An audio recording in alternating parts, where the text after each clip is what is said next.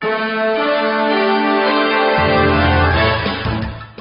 hello there, and welcome to This Week at Intuit for September 23rd, 2011. I'm Scott Caplener. And I'm Holly Perez. Together, we'll bring you the weekly headlines of what's making news around Intuit. You can see us every Friday here on the Intuit Network. Intuit's annual Investor Day was held this week at the company's Mountain View campus. Business leaders joined Intuit CEO Brad Smith and CFO Neil Williams to share the company's fiscal year 2012 strategy. You can check out the full replay at investors.intuit.com. Media, financial, and industry analysts, as well as partners, got a glimpse of Intuit's next generation of mobile products at an innovation gallery walk this week. The company showcased more than 20 mobile solutions, including SnapTax, Mint Advice, and the Intuit Health iPad Patient Check-in. I think we all know that we're shifting now into this connected services world where computing is moving to the palm of our hand. A lot of people don't realize that the processing power in an average smartphone is 1,000 times more powerful than what landed a man on the moon. So this is going to bridge the digital divide. And what I mean by that, there are 6 billion people in the world today. 2 billion have access to a PC and the internet. 5 billion have phones, and those phones are getting smarter every day. What a wonderful way to deliver solutions to small businesses and consumers around the globe to help them improve their financial lives using this new medium called digital devices.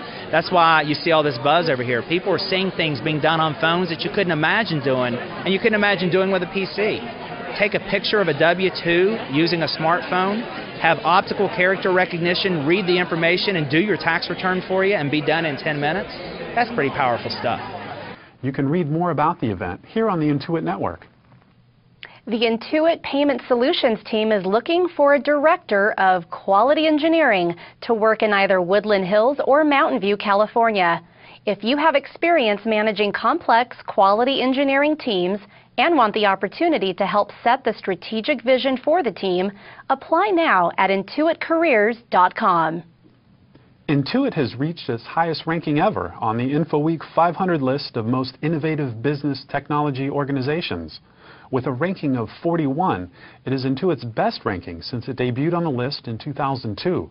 The Information Week 500 shines a spotlight on IT innovation by identifying and recognizing business technology teams that have made a notable difference in how their companies do business.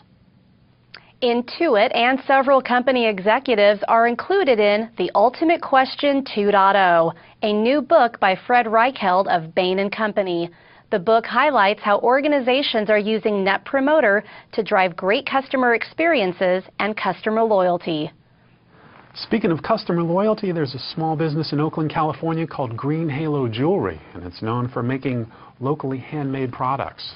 Ashley Rogers, owner and designer, has been in business for more than five years, beginning with a passion that started as a part-time gig. The company, dedicated to exploring how people adorn their bodies and their lives with jewelry, leverages social networking like LinkedIn, as well as trade shows to build contacts.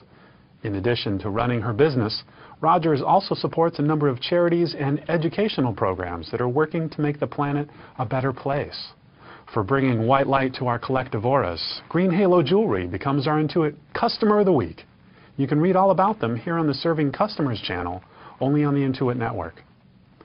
Well, that's all the time we have today. Yep. I want to thank you for watching, and we'll see you again next week. I'm Scott Caplener. And I'm Holly Perez. Have a great weekend. Thank you.